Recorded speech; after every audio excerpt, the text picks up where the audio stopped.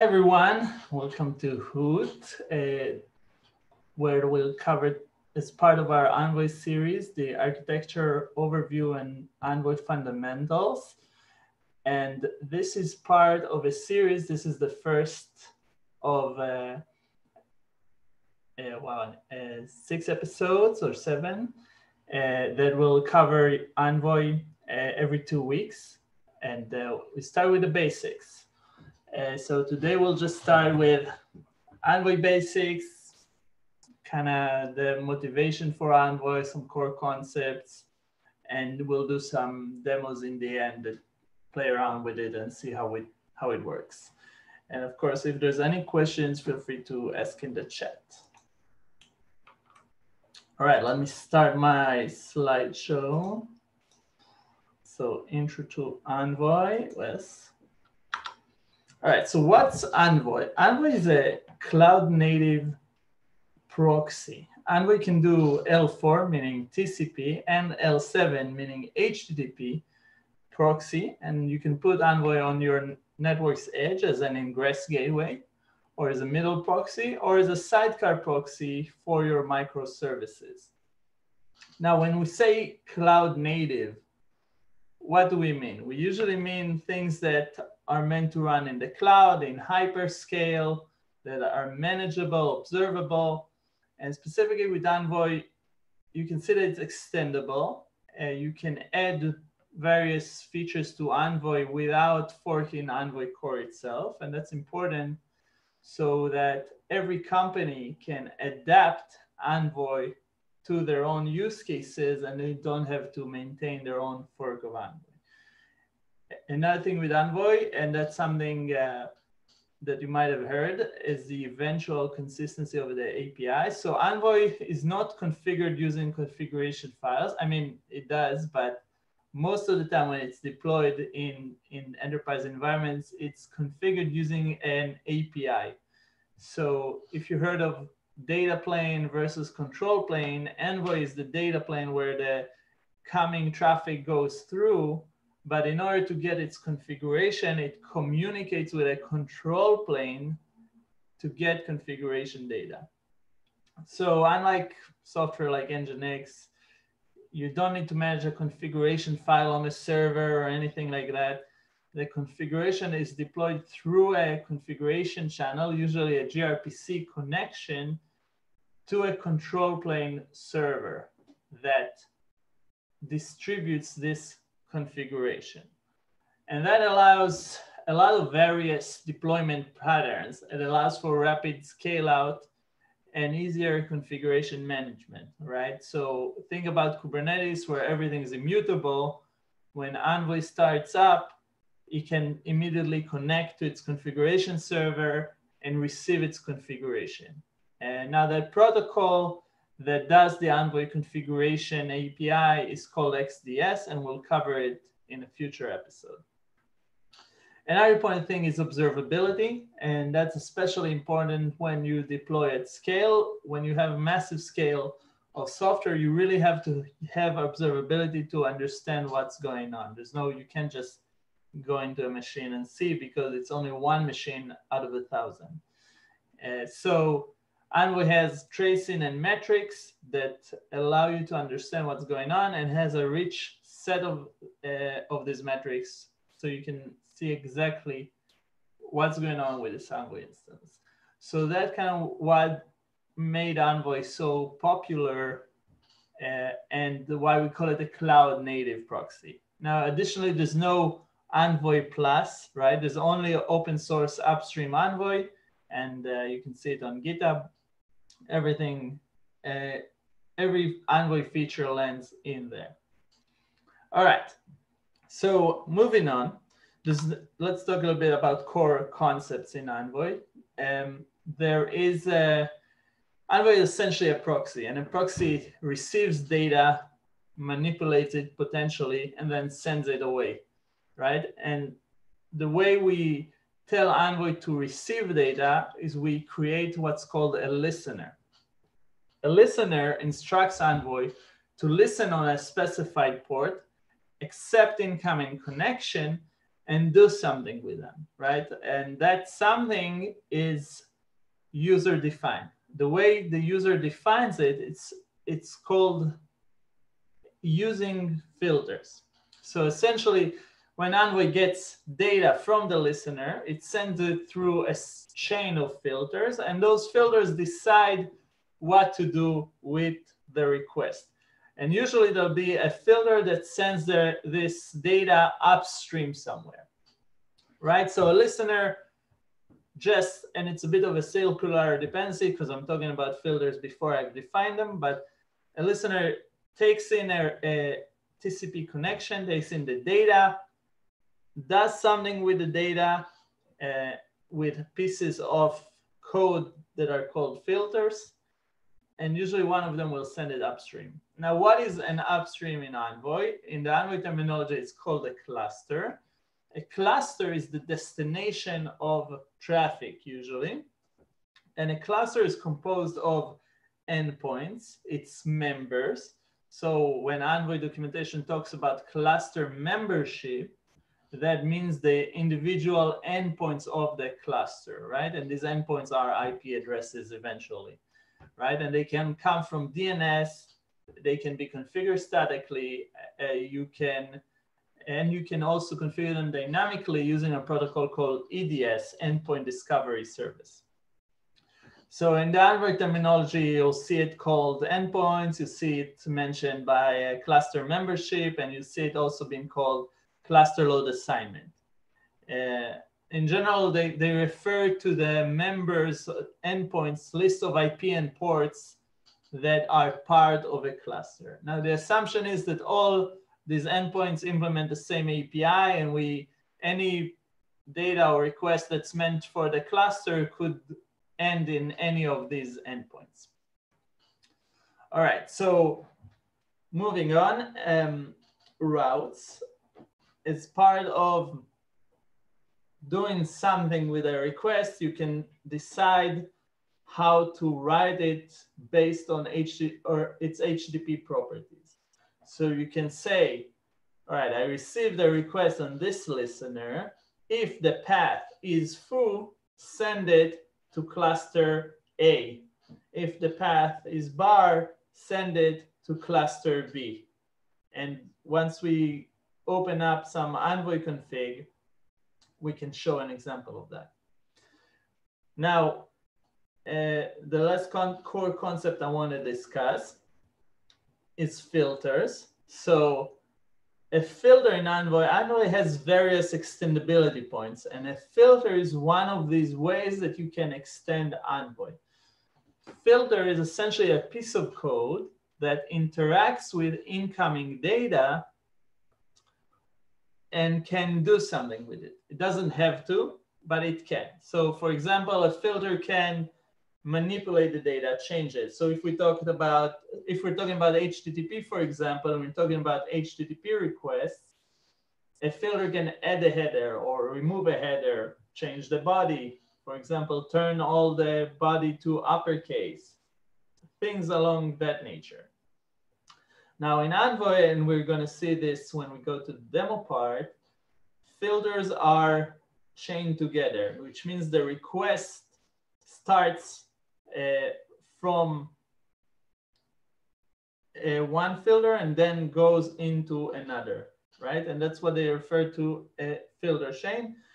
And in that sense, the order matters because if a filter is first in the chain, its effects will happen first.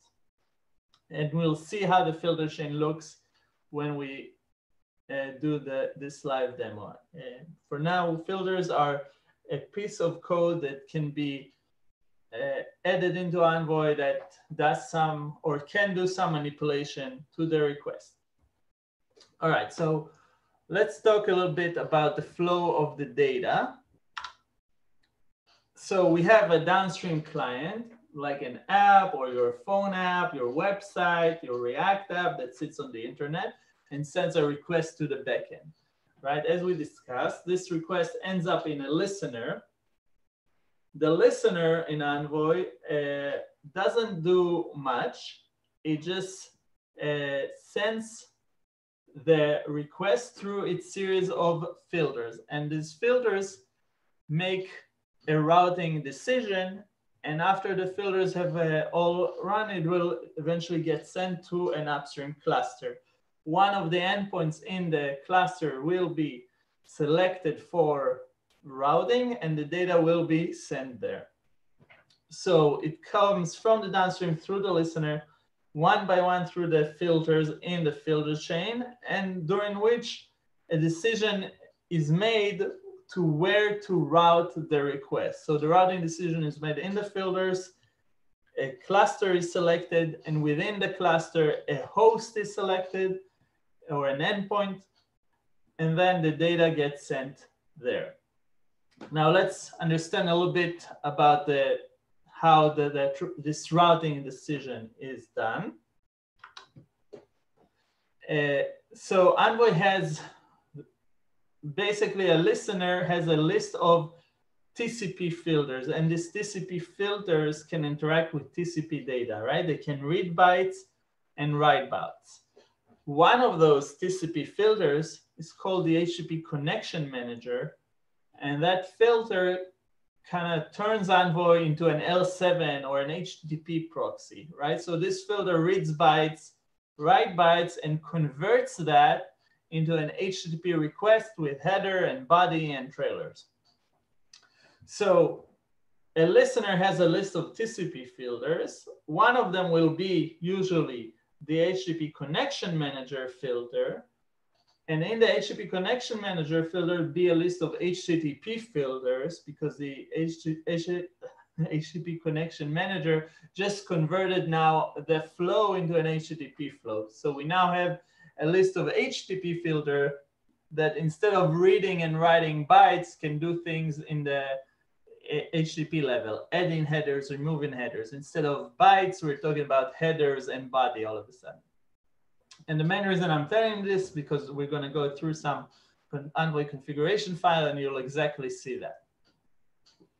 So the HCM filter can has also is aware of the uh, the routes that the user wants to do and can select the route based on the request properties, right? So if you have a path that is foo and it if your routing rule says that foo should go to cluster A, the HCM filter does that math. It, it compares the headers to the routing rules and selects the destination. So in the end of all these HTTP filters, you'll usually see a router filter, and that's the filter that sends the request upstream. Right? Without the router filter, and without the router filter being last in the chain, uh, nothing will get sent upstream essentially. And any filter after the router filter has no effect because the router filter sends stuff upstream and doesn't forward request to the next filter.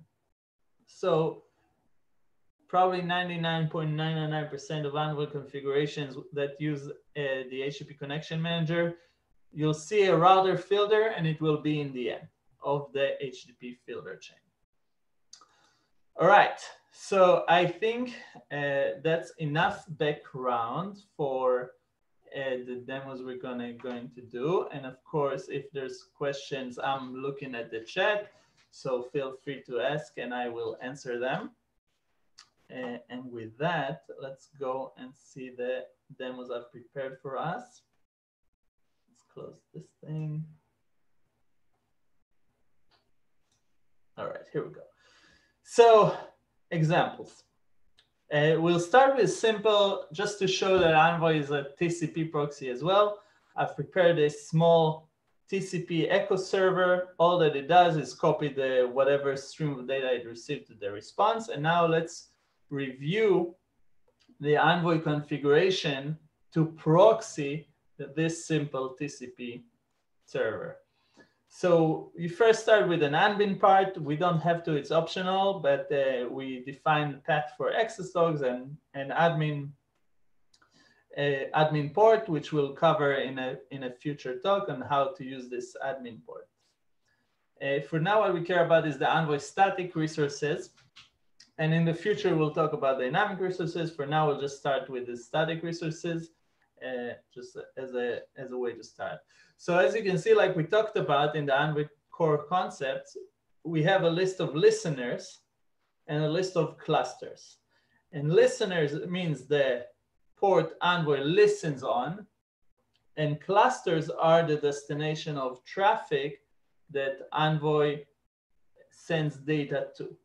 So you can see here, I have one cluster, I call it some cluster. Resolution is done by DNS. A load balancer is round robin. I'm not gonna get into it now. And it has these hosts that are has this address and this port. So only one host. All right, so that's our destination of the traffic. Our listener, uh, it's called listener zero because why not?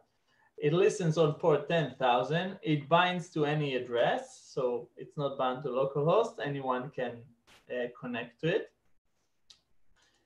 A listener can have multiple filter chains. Uh, for now, we'll just stick to one filter chain. So this is our filter chain. And you can see that our filter chain only has one filter, the TCP proxy filter, and it's configured to send traffic to this cluster.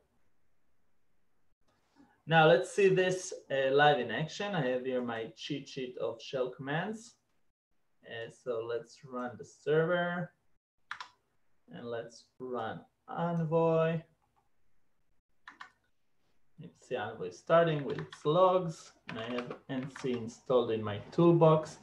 So I can now echo hi to Netcat. And Netcat, if you're not familiar, it's a utility that will connect to whatever you tell it to connect and will pipe STD in and out to the to the TCP connection it just made. So I can echo hi, and you can see that I get hi back. So echo hi into Netcat. Netcat send this into Envoy.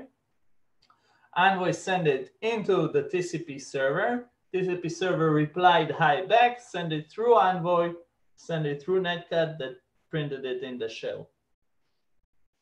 All right, so that's a simple TCP configuration. Uh, um, let me just kill all the programs here. All right. So let's talk about HTTP now. So I've prepared also an HTTP echo server, and it's essentially the same. It just echoes the HTTP body of the request that it received. And let's see how we configure Envoy to use and uh, proxy this service. So I have a simple HTTP configuration. And as before, we have a cluster list. This time, instead of using the old deprecated host configuration, which I used in the first example for simplicity, I'm using the newer load assignment configuration. It's essentially, it allows you to do more things, but this specific configuration is equivalent to what we've seen a second ago. It just configures an address and a port. You can do a lot more things with, with load assignment where you can define localities and priorities, but we're not going to get into that now. So we have here the cluster. It has uh, its load assignment, which is essentially the, the list of endpoints, the members, and it's like before, just one address and port. Moving on to the listeners, uh, you can see that I still listen on same port, still have one filter chain, but this time in the filter chain, I don't have the TCP proxy filter, I have the HTTP connection manager. And the HTTP connection manager converts Envoy from an L4 or a TCP proxy to an L7 or HTTP proxy right? So you can see here all the configuration for the HTTP connection manager TCP filter. So uh, stat prefix is just how it'll show up in the Envoy stats. We'll get into that in a, in a later presentation. Uh, the routing config, this part here is what defines where things will go based on the properties on the of the request. So if you remember before in the TCP proxy, we just had a cluster name, which was the destination. But here we actually have the ability to route based on HTTP request properties. So a route config is composed of virtual host. A virtual host has a name, which is uh, not important right now. And it has the domain. So asterisk means any domain. Uh, this is this will match the host header in the HTTP request. And then we have the routes, the list of routes. And the list of routes is composed of a matcher and a route action. So we match on prefix slash, which effectively means any request. And we, what we do with the, with the requested match, we send it to a cluster called some cluster. Now, as you can see, routes is an array and I can have more than one route and they're processed in order. And the first route that matches wins. Uh, in this case, I only have one route, so it's pretty simple. Now, in order for anything to actually happen here, I have to define HTTP filters. And you can see I only have one filter, the Envoy HTTP router. And that's the filter that I must have here. And it must be less in order for traffic to reach to some cluster, uh, to my cluster called some cluster, because the router filter is the filter that performs the connection to the upstream cluster. All right, so let's see this one in action. And again, I have my command cheat sheet. So let's do this. All right, so Envoy is working. And now instead of using netcat, I can use curl. So I can curl and you can see I get hi back. I can do hello instead and hello back. So essentially, let's go over the configuration.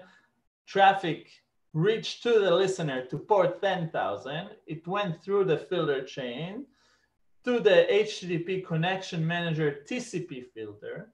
The HTTP connection managers parses the TCP stream into HTTP request and response, it performs the routing decision and see that and decide that it needs to go to the cluster some cluster, and then sends it down the filter chain. In this case, we only have one filter, the HTTP router, that sends the request to the destination. And then it all happens in reverse. The destination returns a response, flows back through the filters, and back to the client.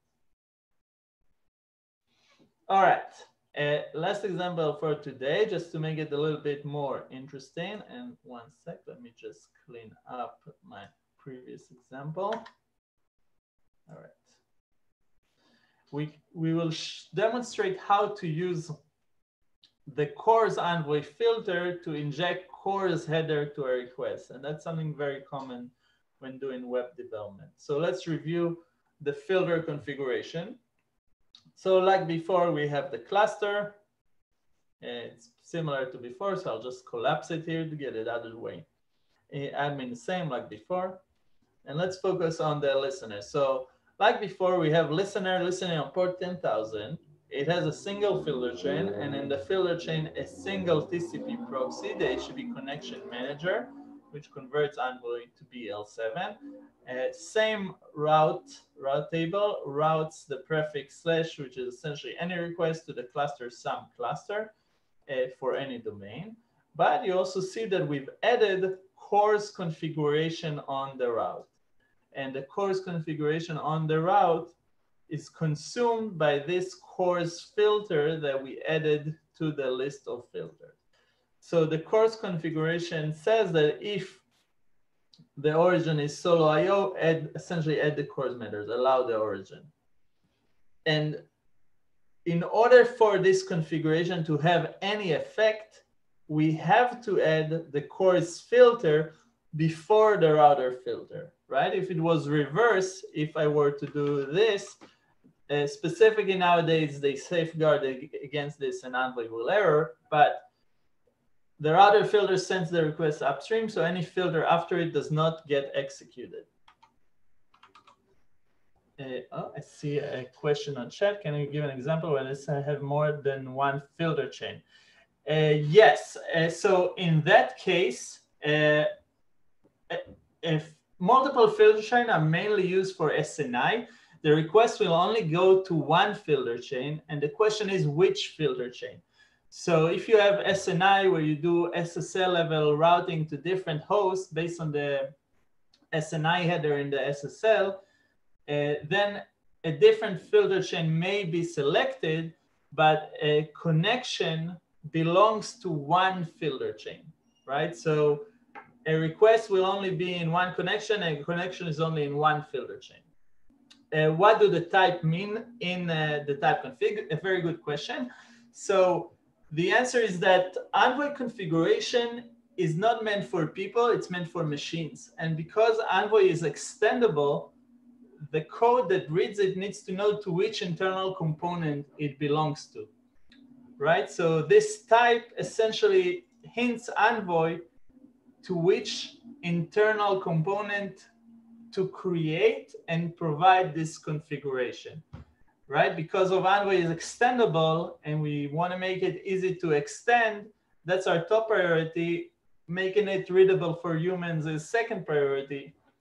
And we have this type information here that essentially you can think of it kind of like the good old days of Java where you can define a Java class in an XML file to instantiate it.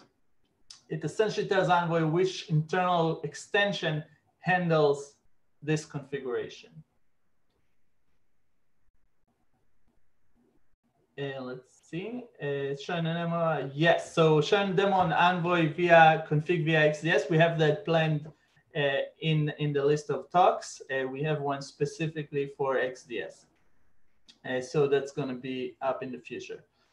How does the request and the reply go through the filter chain? How is the reply my specific request? Uh, so an Envoy has an internal stream abstraction that represents both the reply and the request. So when the request goes through the filter chain, there's an object that holds its state. And when it, we get a response, we know where to associate it to. Now it's different between HTTP 1 and HTTP 2 with HTTP 1, it's on the same connection. So once you get a response, we know the connection and we know to associate it to the right stream. In HTTP 2, you have a stream ID that associates the response to the request. Either way, Envoy keeps track of it and knows how to do it. Uh, what does Gloo Envoy adds over Envoy? So Gloo is a control plane for Envoy and the distribution of Envoy. So we have our own version of Envoy. We take Envoy upstream and extend it by adding more custom filters. For example, we have a transformation filter that can perform advanced body transformations to request. And we've seen that very popular with customers who are transitioning from a different product onto Envoy. So yeah, and in addition, Gloo is a control plane uh, where you do it allows you to have a more service approach to self-service approach to Envoy configuration where you don't need to deal with writing configuration files like we do here. And again, we're going to see examples of that uh, as we go down uh, this series of talks. This is just a very, you know, begin beginner talk. So we just do it with static configuration file. Uh, I hope that answers all, all the questions. If not, feel, feel feel free to write some more. And continuing with the CORS example, so like we said, we have here two filters, CORS and router. CORS will read this CORS configuration and inject CORS headers if needed. And the router will send the request upstream. So now let's see this in action. And we have here my cheat sheet. So let's start everything. All right, and now we can send a request to a example or with example.com origin, and you can see that there's nothing special about the response. But if we send a request to with origin solo.io, you can see that the CORS filter kicked in and added the access control allow origin header to the response, indicating to the browser that it can send requests uh, uh, to that origin. Eh, or from that origin rather. Uh, yes. So let's recap what we've seen or what we talked about today is Envoy core concept, and we've covered uh, listener, routes, clusters, endpoints, and filters. We talked about why Envoy is a cloud native proxy, unlike other solutions like Apache and Nginx, for examples. Even though it's uh, they're making progress every day, so don't don't quote me on that. They might they might be more in a more advanced state right now. We talked a little bit about the flow of data and showed some example with uh, two more, two filters. Uh, one CORS that its CORS headers to the response based on configuration and one a router. And that's pretty much it for today. If you have any more questions, feel free to ask uh, we're Solo.io, uh, like one of the questions asked, we make Gloo, uh, which is an API gateway based on Envoy that extends Envoy and allows you to use it easily in Kubernetes.